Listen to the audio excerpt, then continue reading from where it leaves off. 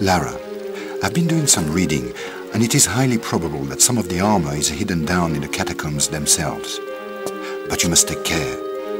Word of von Croy's men fleeing the tunnels has reached me.